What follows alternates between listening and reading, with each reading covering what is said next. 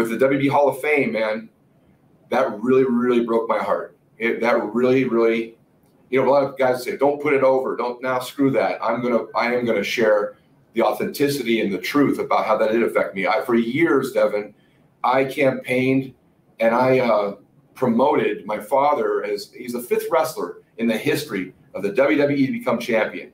He only held the belt for nine days, but he always told me, said, Shawn, that was the most happiest nine days of my life, apart from you being born. And God rest you, your soul, Dad. You know, um, he, you know, he back in his day, he was considered a transitional champion. They wanted to get the title from Pedro to Bruno, two baby faces, but they needed a good heel. They needed a strong heel to make the transition. And so there was other heels that were there, but my dad was a good, solid heel and would be the perfect guy to get that piece of business done, and he did. But you know, here's an original WWE champion, fifth wrestler in the history of the company. Here I am, uh, retired for many years. I go on to become a chiropractor. I'm not tooting my own horn, but I just want to give you the fans here a picture of this this experience for me. Okay, you don't read about me. You don't. I'm not. You're not. I'm not making negative uh, title uh, headlines. You don't. You know, I'm not in drug rehab. I'm not.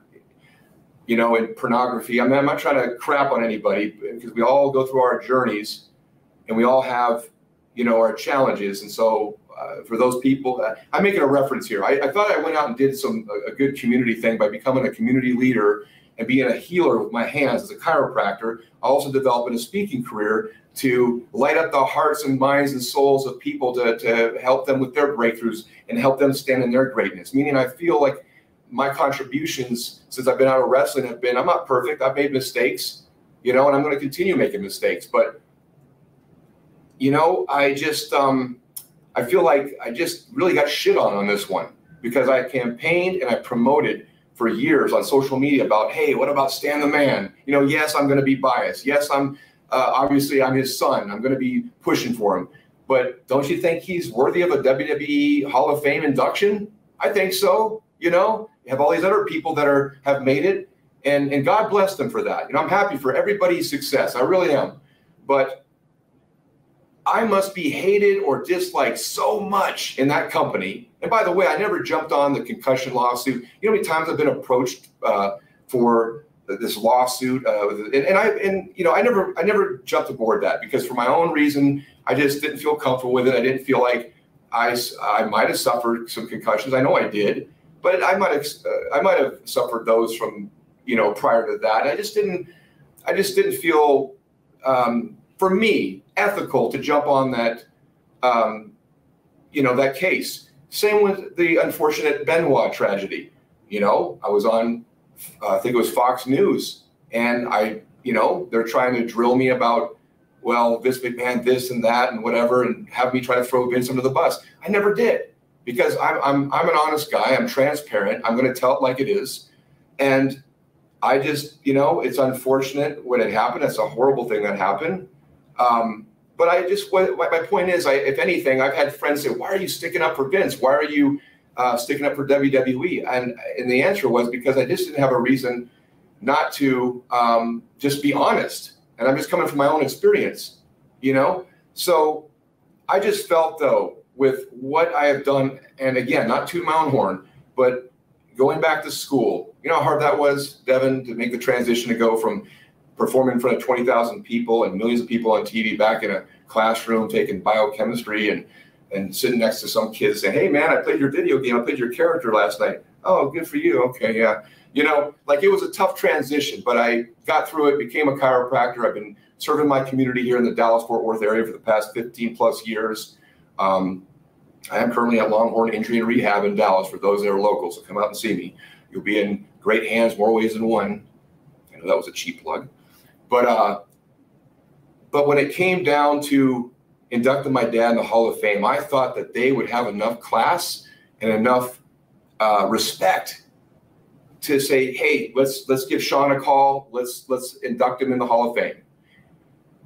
I don't need Mr. T time on a podium. Give me five to seven minutes, if that. I'll share a couple funny stories. I'll receive this award in my father's honor and in his name and our family name. Good night, thank you, goodbye, right? That never came. I learned about my dad being inducted in the Hall of Fame through Twitter of wrestling fans. I just finished my workout at LA Fitness. I'm in the parking lot and I, my phone's blowing up and I'm seeing all this congratulations on social media. They're finally putting your dad in. And I knew at that point, right then and there, Devin, I said, oh my God, they're not, because the, the Hall of Fame was like the next day or two days from that point. I said, no one's called me, no one's informed me.